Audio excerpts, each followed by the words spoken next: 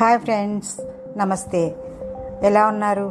అందరూ బాగుండాలి అందులో మేము ఉండాలి అని మనస్ఫూర్తిగా కోరుకుంటూ నా ఛానల్ దేవీస్ కిచెన్కి స్వాగతం. ఈరోజు మన రెసిపీ గుంట పొంగనాలు దీనికి కావలసిన ఇంగ్రీడియంట్స్ దోసపిండి ఉల్లిపాయలు పచ్చిమిర్చి అల్లం కొత్తిమీర కరివేపాకు జీలకర్ర కొద్దిగా ఆయిల్. ముందుగా దోసపిండిని తీసుకొని దానిలో ఉల్లి ఉల్లిపాయ తరుగు పచ్చిమిర్చి అల్లం ముక్కలు జీలకర్ర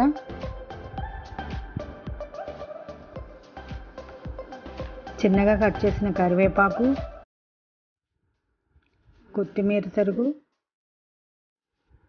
అన్నీ వేసి బాగా కలుపుకోవాలి.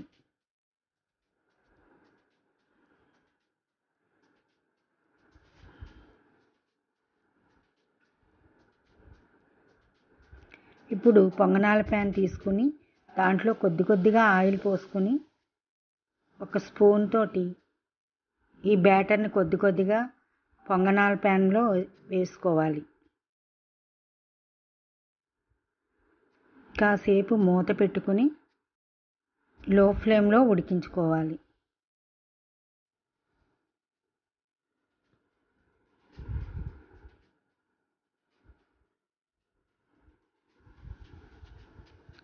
ఇప్పుడు దానిని మళ్ళీ వేరొక వైపు తిప్పి మళ్ళీ ఒక నిమిషం పాటు వేయించుకోవాలి. అన్నీ ఇలాగే వేసుకోవాలి.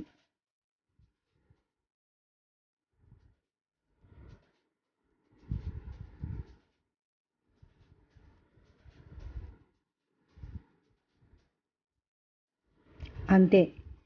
ఈ పొంగనాలని ఏదైనా చట్నీతో అల్లం చట్నీతో కానీ పల్లీ చట్నీతో కానీ వడ్డించుకుంటే చాలా టేస్టీగా ఉంటుంది.